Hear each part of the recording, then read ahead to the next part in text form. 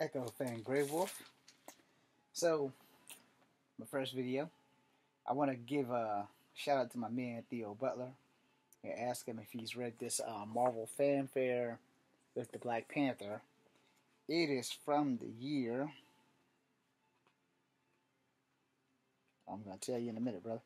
if I can get the page to turn. It is from the year 1991. I was still in high school. Um, it's like a one-off. It really doesn't have that much about Black Panther in here. But for those who don't think that Black Panther should be recast, this fanfare is the final fanfare, January 60. It was 225 back then, 270 if you lived in Canada, and it was in 1991 of December.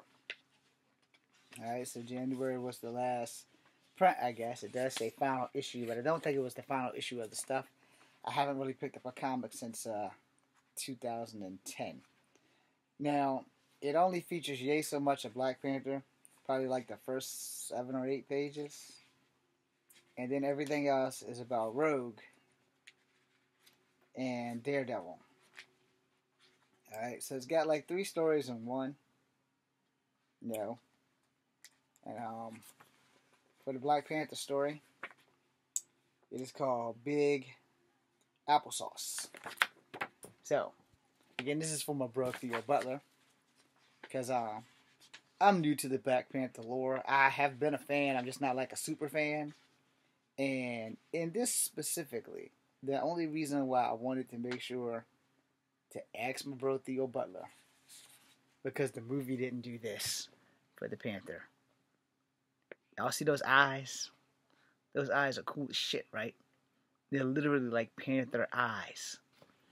So that's why I wanted to do this for my bro Theo Butler. So let me see how many how many pages is it. So one, two, three, four.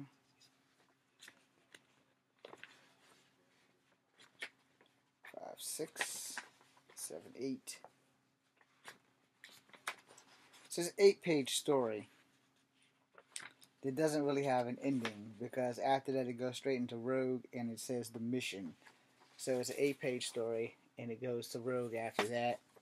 And Rogue is one, two, three, four, five, six, seven, eight, nine, ten. 11, 12, 13, 14, 15, 16. So in the middle, there's like 16 page story of Rogue, and then it goes with Daredevil.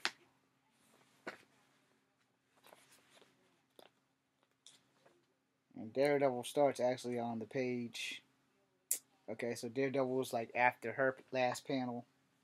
Daredevil's uh, the monkey never dies. So he goes one, two, three, four, five, six, seven, eight. He has eight pages, and then it finally ends with the Punisher, Daredevil on the back, Black Panther, and Rogue on the front. I just wanted to know if he actually did any of the fanfares. That being said, I'm going to make a separate video after I suit up in that Spider-Man 2099 suit. So, please watch it. That being said, shout out to Theo B. Keep the fighting going. Recast T'Challa. Everybody, hashtag recast T'Challa. Even if you don't like me, T'Challa needs to be recast. Y'all have no idea the importance of this king and stuff. Yeah, yeah, I'm part native. I'm part native. And Marvel really has any like native royalties in there. I'll make a totally different video about that on another day. But for right now, what you fail to understand, this whole thing, for all you people who don't want to recast T'Challa. Alright, look. I'm not the only one. Mr. Butler's not the only one. There's another guy who's got a little bit more follower than both of us. They're pushing this. It needs to push through. We need to recast T'Challa for the simple reason. Alright? One, you don't have a lot of black superheroes in the Marvel Universe. I mean, you do, but you don't have a lot of black superheroes that are popular.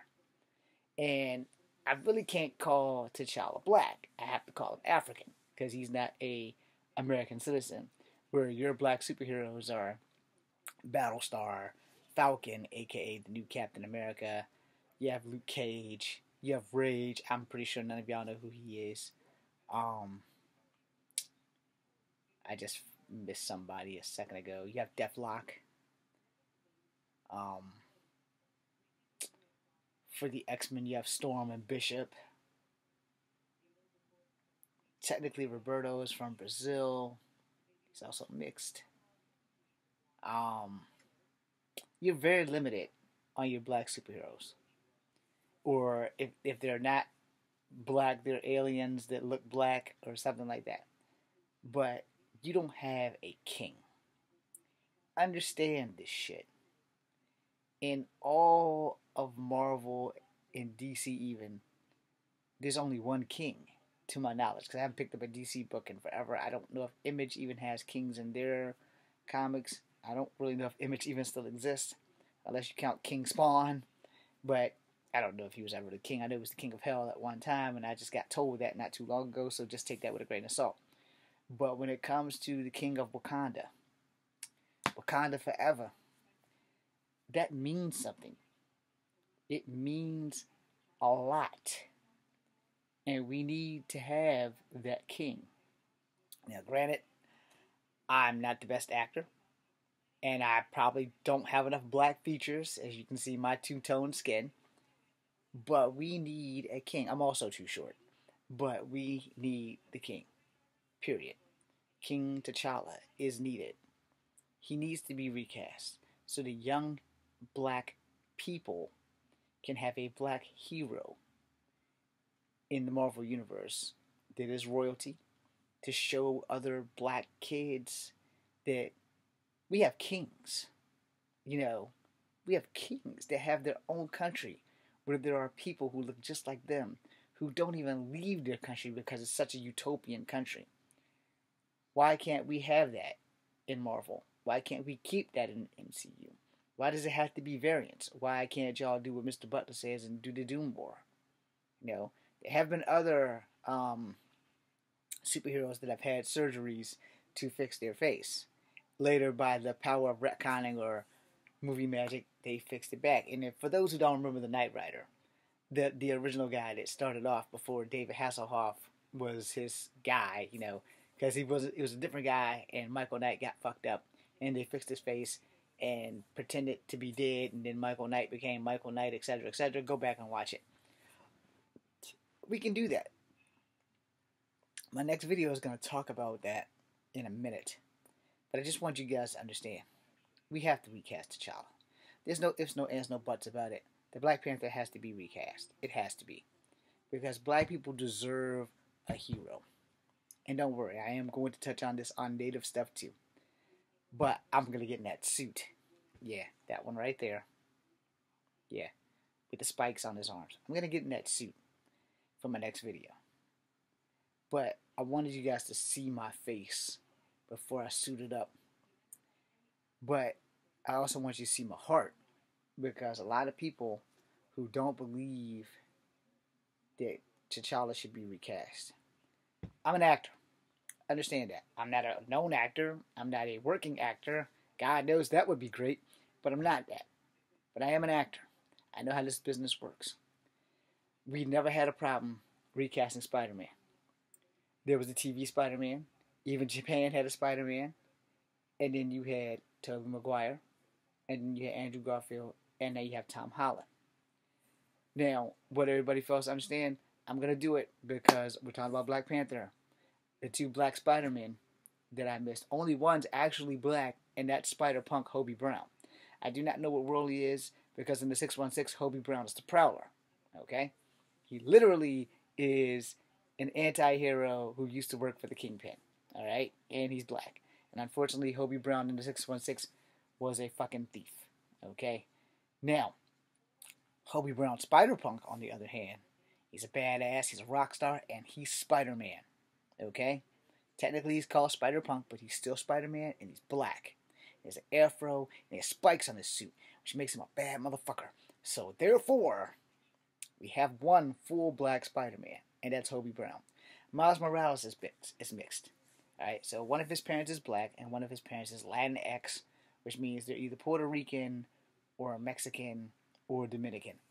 I do not know the difference between Dominican and Puerto Rican, but I do know the difference between Mexican. So, Miguel O'Hara is Mexican and white, or Mexican and Irish. So, therefore, I can pull that off, and I need that job. But this isn't about me. This is about recasting T'Challa. T'Challa needs to be recast. There's no ifs, ands, and buts about it. Why are you going to take the one positive black hero who hasn't had black black struggles outside of racism? He's a king. He hasn't had any struggles until he left Wakanda. You know, where in America, yeah, you got Falcon, he's black. You got Battlestar, he's black. You have Rage, he's black. You have um, Spider Punk Hobie Brown. You have Miles Morales. Um, you have Luke Cage. These guys are all black. But the thing that separates T'Challa from them is that he's fucking royalty. And we don't have that in the real world. Why do you have to take it out of the only escape that we have as people of color, as black people? You know? Now, again, I'm going to suit up and I'm going to make another video. But I just want you guys to let that sink in on how important it is to recast T'Challa. It is very important to recast T'Challa. We need that black king on that throne.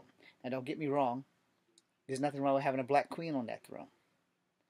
But T'Challa's story was just getting started, and you guys are going to end it due to the unfortunate and untimely death of Chadwick Boseman, which is not fair to the fans and why can't you hire his big brother to play him? They don't look that different. They really don't. And that's what makeup is for. As an actor, I know how makeup works. God knows I probably need some myself to cover this scar on my nose. You can't see it because of the lighting in here, which is good. But you know, you you have to understand. He is a character. Chadwick Boseman was the actor, and a great actor he was, but he was not the real live T'Challa. And that's where people seem to not have their lines and their morals crossed. He's an actor. We can honor him by letting someone else fill the character's shoes, not Chadwick Boseman's shoes. Okay? That being said, I'm Echo Fan Grey Wolf. This is Kung Fu Havok number two. When you see me again, I'll be Miguel O'Hara. Be seeing you.